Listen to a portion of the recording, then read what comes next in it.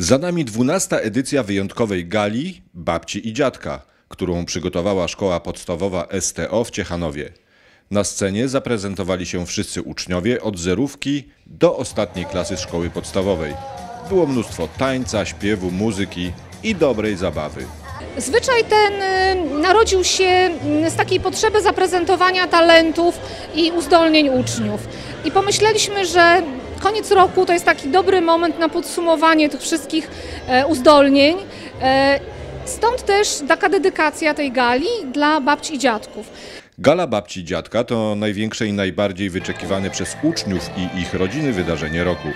Do hali widowiskowo-sportowej przy ulicy Kraszewskiego przybyło ponad tysiąc osób. Największą atrakcją były występy uczniów. Na gości czekał też pyszny poczęstunek przygotowany przez niezawodnych rodziców. Widać po obecności zarówno dziadku, jak i ich rodziców, że cieszy się dużym zainteresowaniem i e, no, każdy, można powiedzieć, czeka na tę imprezę przez cały rok. Najważniejsza w roku impreza. Pomimo ogromnej widowni, na twarzach uczniów nie było widać ani odrobiny stresu. Na scenie młodzi artyści czarowali publiczność uśmiechem i pozytywną energią.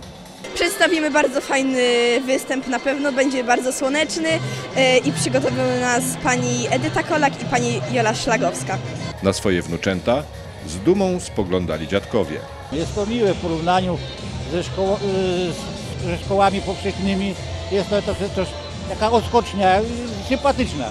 Bardzo przyjemnie jest. Ja jestem już dłuższy czas na tych imprezach, bo drugie, drugi, bo wnuczka chodziła i teraz wnuczek do tej szkoły chodzi. Także już jestem trzeci raz tutaj.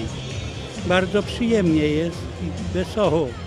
Gala to doskonały pomysł, by docenić babcie i dziadków i podziękować im za serce, którego każdego dnia okazują swoim wnuczętom. Bo kto przytuli, pocieszy, upiecze ciasteczka albo zaśpiewa ulubioną piosenkę.